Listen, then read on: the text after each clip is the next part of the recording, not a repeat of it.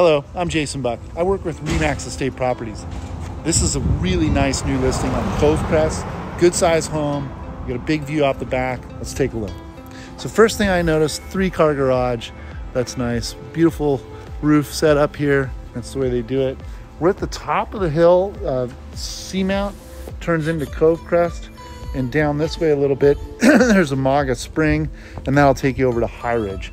Uh, we're really close to the middle school called Ridgecrest, and you know, the schools here are one of the reasons why people move to Palos Verdes. So our entrance is nice tile. You have an upstairs room here with uh, hardwood. Let's take a look this way. So I like the way they have the windows here. It's pretty. This is real hardwood. It moves on into our dining area. And one thing I noticed is that the uh, the windows appear to be changed. Um, and one thing that they allow here in Rancho Palos Verdes is vinyl windows. So these are vinyl. Um, this little vinyl strip, what they do is they measure from the original aluminum frame and they just put windows that fit inside and they use the vinyl to cover it up. It's a great way to get new windows. Um, and uh, they look great. I mean, it's beautiful, beautiful windows. So here we come out to our viewing deck. Nice deck here. It's a Trex deck, so this doesn't have the normal wear and tear. It's not real wood, but it looks great. And this would be your ocean view. So I can see ocean through the trees and all the way around. Catalina would be over here. But look at this yard. Huge yard. It's really nice. So you look at our exterior, we got a split level. So one side here and then the two story on this side. So this was the kitchen that we came out of. Beautiful door there we replaced that door. It's really nice. And our kitchen. So kitchen's somewhat original, but you do get a beautiful view from the kitchen sink. That's nice. Um, and you know what? This could all be opened up. You can totally open this into the dining area uh, if you want. It just depends on how, how you want to do it and what your lifestyle is like. Let's keep going on this bottom floor. So we have a bath this, if you did put a pool, it could be a pool bath. And then we have our family room in the back. It's very nice the way they set this up and the doors going outside. It's, it's really pretty. So that's a good setup. Good sized room. Oh big garage. All right, so there is direct access to the garage here. Nice big garage. Look at that fun thing. Looks cool. And we got our laundry uh, and forced air here and a little workbench. So I like their bike rack. That's cool. Good setup. This goes back to the front door. So let's find the staircase.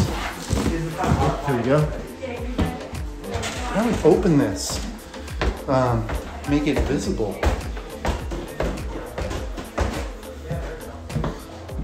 So here's our upstairs bath.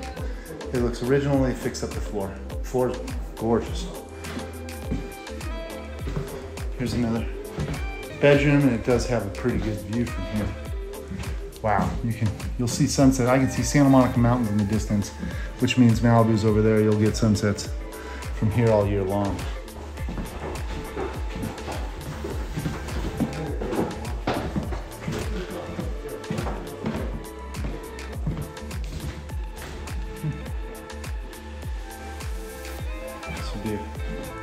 Great office. I expected this to be the master with that kind of view. I guess the master's on the other side.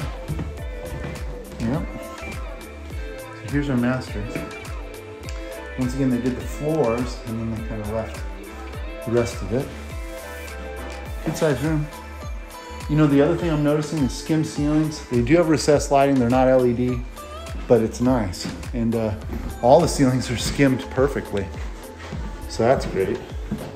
And we have another room up here. So this I think is the fourth. Let's see.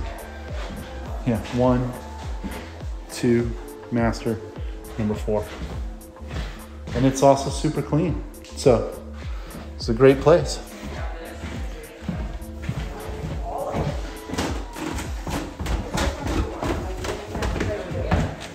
So you could open some stuff up here and, and just redo this whole kitchen setup.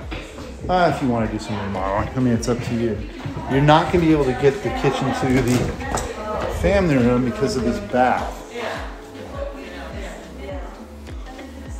Right here.